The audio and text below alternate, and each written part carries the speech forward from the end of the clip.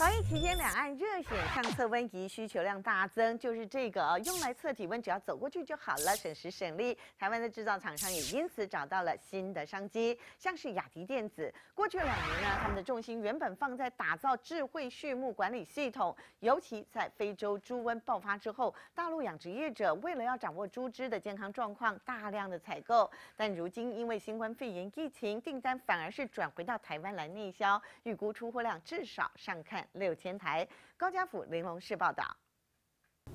小姐你好，我要找陈先生。麻烦你帮我看一下镜头。走进柜台，旁边安装热显像测温仪的荧幕，立刻秀出额温，只要发烧就会发出高温警示，不但快，也不用接触，成为防疫期间体温筛检利器。红外线热像仪呢，它可以在就是在一个画面里面，它可以看到。多个就是等于说有人群里面，它可以在同一个时间快速的筛检出就是温度比较高的那个呃那个物体。新冠肺炎疫情爆发后，从大众运输单位到公司行号、学校，都抢着安装热显像测温仪，当做病毒守门员。在疫情带动下，摇身一变成为防疫市场当红炸子鸡。传染病这一块，像这个疫情在还没发生之前，其实大家对这一块的意愿呃防疫这个事情其实是比较。比较弱的，但是这一次的疫情对每个人感受就很深了嘛，全世界都看到了，所以其实这个防疫这个事情是一个非常重要的一个事情。新冠肺炎疫情爆发前呢，体温快筛这样的设备呢，大多是用在边境口岸，像是机场这样的地方。老实说呢，市场需求呢不算太大，所以换个角度来说，疫情爆发后呢，也对整体产业呢带来一个新的契机。台湾制造商的表示呢，近一个月订单量增加了大约十倍左右。二零一一年创立的雅迪电子，主攻 AI 物联网，过去两年重心放在大陆、台湾、日韩和东南亚国家。协助养殖业打造智慧畜牧管理系统，而在爆发非洲猪瘟后，单单大陆订单量就达到两千台左右。近年在科技浪潮推动下，畜牧业寻求转型，雅迪预估今年出货量可望突破六千台。透过远端监控画面，就算人在台北，嘉义养猪场里的每一只猪体温也能清楚掌握。透过模型演示，可以看到体温异常的猪只在热显像技术下无所遁形，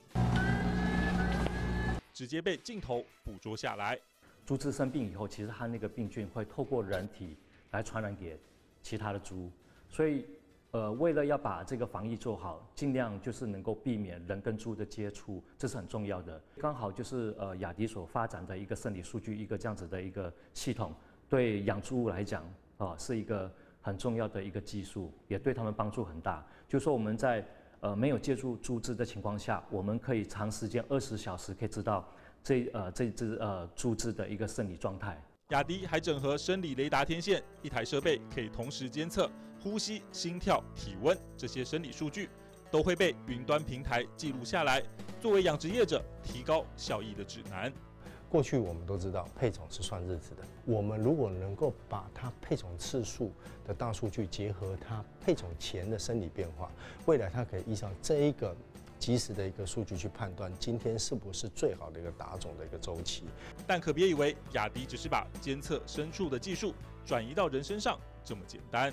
台湾研发的热显像测温仪和进口产品最大的差别，就是当我拿着一个比我体温还要高的饮料的时候，不会影响到它测量我的体温。可以看到我现在的体温呢，大约是在三十五、三十六度，不会出现高温警报。热显像测温仪截取温度主要有两种方式，一个是透过设定脸型抓取特定区块温度，但缺点是戴口罩或头发遮住额头等因素，可能影响判定结果。在疫情完全控制前，业者不建议采用。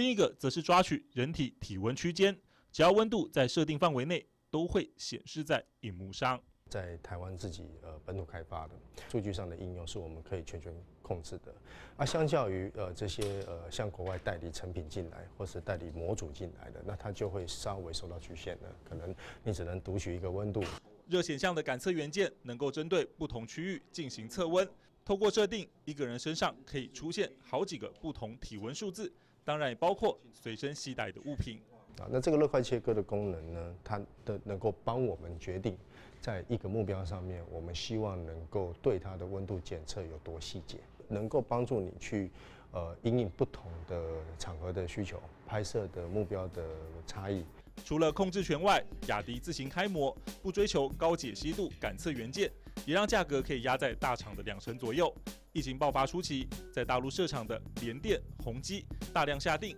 近期光是台湾单月销量就从几百套提升到一两千套，公家机关、央行都是客户。来，双手。热显像测温仪方便归方便，但业者也坦言，由于监测的是体表温度，数据容易受到环境影响。像是学校大门这类开放空间，遇上寒流或大热天该怎么办？